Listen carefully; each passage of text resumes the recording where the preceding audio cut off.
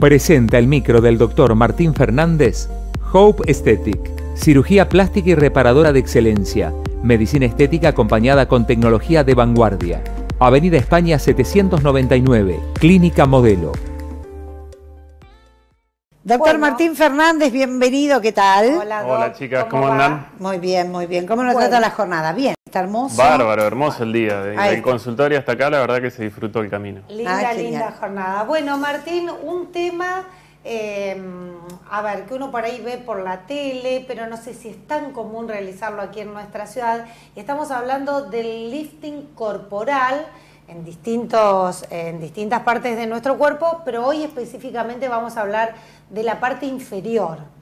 Así es, esta es una cirugía que fue descrita por cirujanos plásticos latinoamericanos allá por la década del 80 para pacientes eh, que habían tenido un descenso de peso y tenían tosis o caída de los tejidos.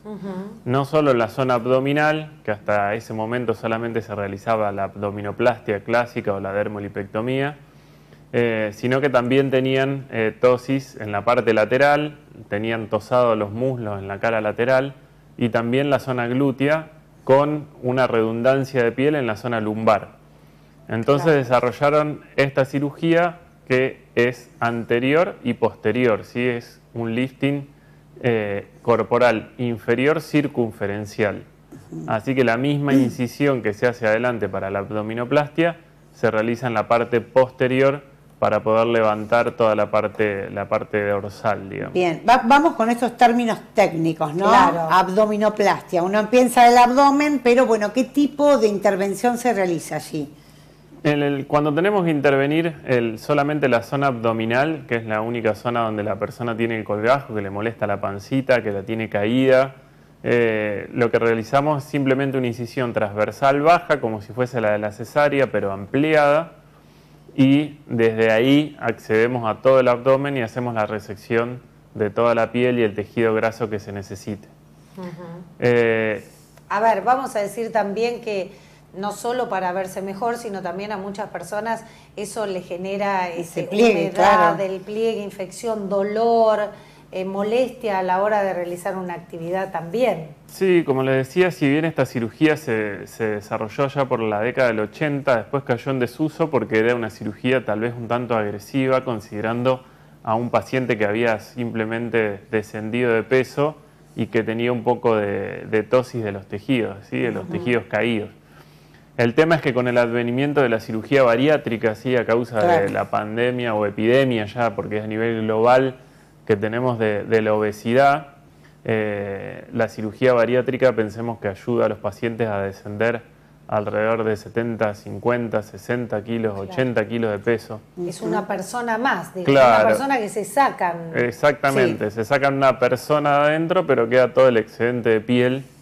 Eh, es por esto que hace años, ya cuando íbamos a los congresos en Estados Unidos, hace, hace alrededor de 7, 8 años, prácticamente se hablaba eh, días completos de, lo que es la cirugía posbariátrica, eh, que es donde intervenimos los cirujanos plásticos dentro del equipo, digamos, de eh, atención a este tipo de pacientes. este, los pacientes que tienen obesidad mórbida son pacientes que tienen un equipo multidisciplinario de atención entre kinesiólogos, neumonólogos, el cirujano bariátrico, la cirugía posbariátrica, eh, la nutricionista, los psicólogos, psiquiatras. Sí. O sea que tiene que llegar también ese tipo de operación cumpliendo un montón de estándares. Sí, generalmente para que se pueda hacer eh, esta cirugía, un paciente posbariátrico tiene que haber eh, pasado los seis meses del peso objetivo. ¿sí? Una vez que logró el peso objetivo, tiene que estar seis meses manteniendo ese peso para poderse someter a este tipo de cirugía eh, en cualquier equipo de cirugía bariátrica, ese se considera que es el momento óptimo para comenzar con la cirugía posbariátrica. ¿sí? De nada sirve por un tema de ansiedad del paciente operarlo antes y que después siga descendiendo de peso porque eso va a producir que tenga más colgajos. O al revés. O que aumente de peso eh, y se tensen ¿sí? las cicatrices, se tensen las suturas. Ahora, Martín, vos decías, es una operación que se hace, bueno, del lado de, la panza, para que la gente entienda, y también de la espalda. ¿Esto se hace en una misma intervención? Sí, se realiza todo en una misma intervención. Hay distintas escuelas, algunas empiezan por el abdomen y después hacen la espalda. A mí me gusta hacer primero la espalda eh, y por último hacer el abdomen. Eh, y no, lleva alrededor de 5 o 6 horas de cirugía, sí, obviamente se realiza en quirófano, con anestesia general. Los anestesistas son muy buenos acá en la ciudad de Tandil y también eh, le dan algún apoyo a veces de analgesia en la espalda como para que después no tengan, no tengan molestias. De cualquier manera es una cirugía que molesta realmente muy poco, los pacientes lo manifiestan eh, constantemente, esto que prácticamente no tienen dolor, porque realmente lo que se saca es lo que sobra, ¿sí? no se anda disecando más tejido eh, ni hurgando demasiado, simplemente se saca lo que sobra. Entonces eso que sobra ya de alguna manera no le pertenece al paciente, está como desconectado. Eh, entonces al retirar eso le permitimos de un punto de vista estético al paciente que se levanten las nalgas, que se levante el muslo, la cara externa, la cara anterior. Eh, que mejore, la cola, la parte de la cola también se levanta. Que mejore toda la parte de la espalda. Eh, empiezan a tener cintura, ¿sí? porque cuando hacemos la disección de los colgajos vemos que aparece toda la parte ósea abajo y en el abdomen tener un abdomen plano, ¿sí? chato. Eh, bueno, y es el primer, generalmente es el primer paso en lo que es la reconstrucción en los pacientes posbariátricos. el 90% de los pacientes eligen eh, comenzar por el abdomen porque es lo que más les molesta. A su vez también lo que hacemos es levantar toda el área genital, que generalmente está toda caída también, por este tema del descenso y de, la elasticidad que, van perdiendo los tejidos y hace que todo esto se caiga. Claro. Eh, ¿Qué pasa con el posoperatorio? ¿Hay que tener algún cuidado particular en relación, bueno, a este tipo ¿no? de, incisiones que se realizan? Sí, siempre los pacientes posbariátricos, y me refiero un poco al paciente posbariátrico porque es el que más se realiza este tipo de cirugía. Si bien se puede realizar en pacientes que no se han hecho cirugía bariátrica, la gran mayoría de los que se hacen cirugía bariátrica tienen indicación de esta cirugía. Los pacientes necesitan por lo menos de 48 horas de internación, ¿sí? hay que pedir algún laboratorio dentro de la internación para ver que esté todo bien, porque son pacientes muy lábiles. Siempre decimos que son pacientes que están adelgazados, pero tienen cierto grado de desnutrición, por eso están suplementados siempre con vitaminas, ah. con minerales, con proteínas. Eh, y necesitamos proteínas, necesitamos oxígeno, necesitamos vitaminas y todo para que las heridas cierren. Y a su vez también el peligro más grande de este tipo de cirugía es el tromboembolismo pulmonar, que es, digamos que alguna, como el paciente está por ahí quieto mucho tiempo en la cama, tiene las venas dilatadas, así como está dilatado todo el tejido de la piel y todo, las venas también están dilatadas adentro, tortuosas, ¿sí? porque antes eran mucho más largas los, los trayectos que tenía que hacer o mucho más anchos, y ahora el paciente está más delgado, entonces las venas tienen muchos más acodamientos y demás. Entonces se puede producir algún coágulo adentro de alguna vena y que se desprenda para la zona del pulmón. Entonces son pacientes que después de la cirugía se les da una anticoagulación reglada, eh, con inyecciones subcutáneas, además de que tienen que usar unas medias de compresión. Entonces está bueno este, tenerlo al menos 48 horas eh, internado.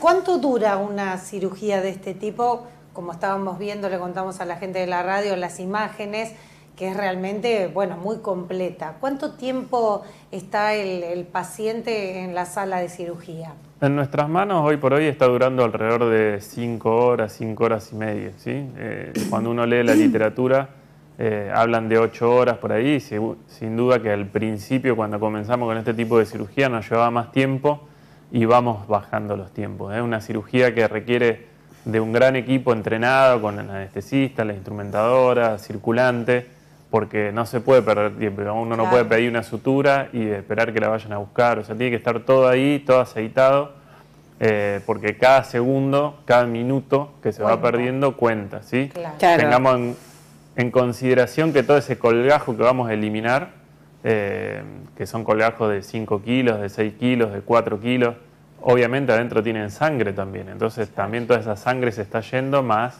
la sangre que va perdiendo el paciente.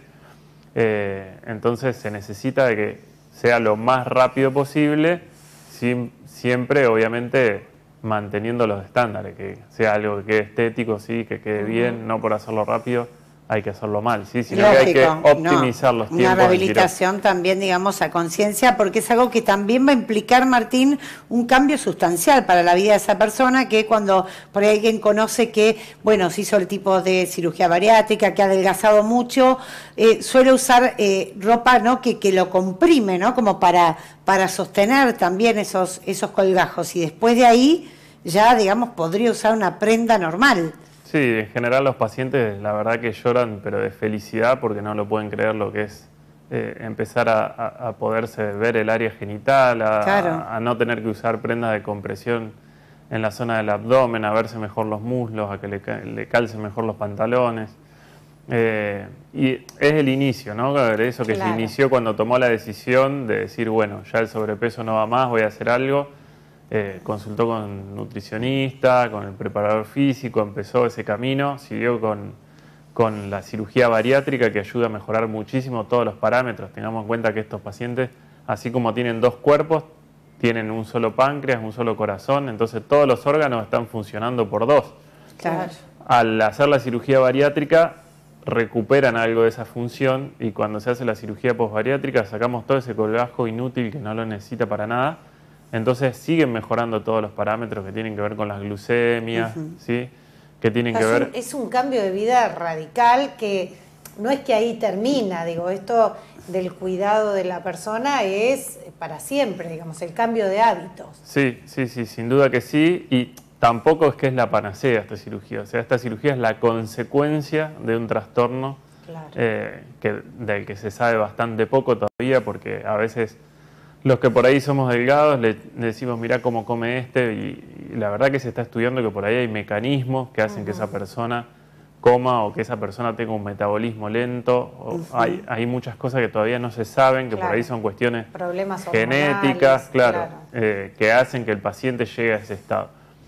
Obviamente que hay muchos pacientes que llegan a ese estado por otras cuestiones, ¿sí? que el sedentarismo, la depresión, eh, el hábito, ¿sí? porque hay gente que le gusta comer porque sí, es rico, es lindo, eh, se disfruta y los argentinos tenemos mucho de eso también, de juntarnos, nos juntamos a comer. Eh, pero no, no hay que discriminar a este tipo de, de, patología porque todavía se sabe bastante poco. ¿sí? En algún momento se hicieron, se siguen haciendo igual cirugías que son de manga gástrica, que se elimina una parte del estómago, además del, del bypass. Eh, y se decía que ahí había receptores y que tenían que ver con la saciedad. Bueno, se está estudiando todo eso.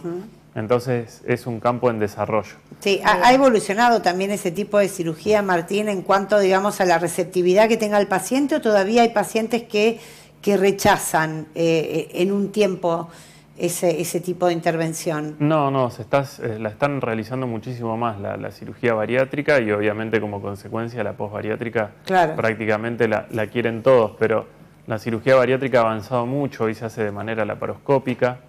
Eh, entonces ya se hace por incisiones mínimas, no necesita grandes incisiones como antes, los postoperatorios son mucho más cortos, pero como decimos, no es que esto es la solución, o sea, puedo reventarme comiendo para después tener esta solución. Y esto lo hablé con una paciente eh, muy amiga, muy querida, eh, que después iba a la sala de espera con la hija y la hija también tenía sobrepeso y y ella, bueno, un poco seguía comiendo también después de la cirugía, esto, lo otro, y digo, el cambio tiene que ser sustancial, porque digamos, no es que yo soy un genio eh, o el cirujano bariátrico un genio y te, sacó, o sea, son maniobras, la maniobra que se hace para la cirugía bariátrica para poder bajar de peso, una maniobra, si se quiere, antifisiológica, ¿sí? como un artilugio para intentar de que el paciente pierda peso, porque si sigue aumentando de peso, va a tener más problemas de salud. Porque en su cabeza, digamos, sigue por ahí manteniendo estos Exactamente. Por eso es importante el equipo, ¿no? Nutricionista, psicólogo, psiquiatra, que trate el todo. Y tampoco es la solución comer, hacerte la bariátrica y después Martín te hace la posbariátrica, porque, eh, digamos, es, cierto que el paciente queda mucho mejor, es cierto que el paciente queda sin colgajos, pero no son cosas que estén exentas de riesgo. Obviamente quedan con cicatrices, más allá que dejamos las cicatrices lo más escondidas posible, quedan con cicatrices y también puede haber complicaciones porque son cirugías. Claro. ¿Cuánto tiempo desde la cirugía a esta imagen, le decimos a la gente de la radio, el antes y el después, ¿Cuánto tiempo pasa para que quede ese cuerpo realmente armonioso, sin todos los colgajos? Este, ¿Cuánto tiempo pasa ya casi en una recuperación total? Y lamentablemente depende mucho de, por un lado, de qué zonas quiera tratar. ¿sí? Cuando se quiere tratar, eh, generalmente los pacientes tienen para tratar la, la zona inferior, ¿sí? que se hace el body lift inferior, el body lift superior, que implica en el caso de las mujeres las mamas, ¿sí? o en el caso de los varones toda la zona pectoral, más todo el rollo que se hace abajo del corpiño, por decirlo de alguna manera. Después tenemos los brazos y los muslos. ¿sí? Si el paciente se va a someter a todas esas cirugías, estamos hablando de que le lleva alrededor de un año de procedimientos cada dos o tres meses eh, siempre y cuando tenga celeridad con todo el tema de su cobertura social y todo eso, sí que ya son todos ¿Esto temas está cubierto por obra social? Sí, sí, sí, en general ah. sí, tanto la cirugía bariátrica como la posbariátrica está dentro de, los derechos de, los pacientes que tienen cobertura. Bien, bien, bien es, un buen, es un buen dato. Es indistinto, mujeres, hombres por igual la realizan. Sí, sí, se realiza en, ambos sexos. Eh, es cierto que por ahí como la distribución corporal de la grasa y de la piel y todo es distinta en el hombre y en la mujer, eh, muchas veces en el varón solamente se hace la parte abdominal. Si nos viene a la cabeza gente que conozcamos que tiene, que tiene sobrepeso, generalmente el hombre tiene mucha panza y atrás no tiene. Proyecta, digamos, hacia adelante. Atrás como que no tiene mucha cola y está más, vale bastante chato. Eh, eso por las diferencias que tenemos anatómicas. En general el varón se hace el abdomen y lo que le molesta mucho al varón obviamente es la zona pectoral porque le da el aspecto de que tiene mamas femeninas. Claro, muy Esto en niños no se realiza, ¿verdad? No, no, no, en niños no se realiza. Bien, bien. Martín, bueno, em, la verdad que más que completo todo este informe y saber, sobre todo en esta charla que hemos tenido, eh, has dejado bien en claro de concientizar, ¿no? Que esto no es como lo que quiero, engordo y después voy y me hago la cirugía. Esto tiene que ver con todo un proceso de cambio de salud por sobre todas las cosas. Y más sabiendo, Ceci, también como lo hemos hablado, la pandemia dejó un reflejo más claro, ¿no? De lo que es la obesidad hoy, que va a ser una de, las próximas pandemias que tendremos. Martín, ustedes tendrán ¿no? los mismos informes médicos, sobre todo preocupa mucho eh, los chicos que vienen ya con estas tendencias. Sí, sí, sin duda que sí. Ya en, el hemisferio norte, en Estados Unidos, es gravísimo el problema que tienen de, obesidad. Eh, los que pueden ver películas, series o han tenido la, oportunidad de viajar, pueden ver las costumbres que tienen para, comer, lo que son todos los alimentos procesados, industrializados. Muy mala, muy mala alimentación. De lo que son comidas rápidas, las donas, no sé, cualquier cosa que se le, todo lo frito. Eh, y lamentablemente esas tendencias también van pasando acá. Vemos, ya vemos que las cadenas de allá están acá, eh, las costumbres también van pasando, a veces hasta parece cool comer esas cosas, ¿sí? porque se come allá, entonces... Tipo moda. Sí. Claro. Lo malo se aprende rápido, ¿viste? Y como decimos siempre, eh, el cambio tendría que empezar desde el colegio, ¿sí? desde los buffets, que sean buffets más saludables en los colegios, tener educación alimentaria.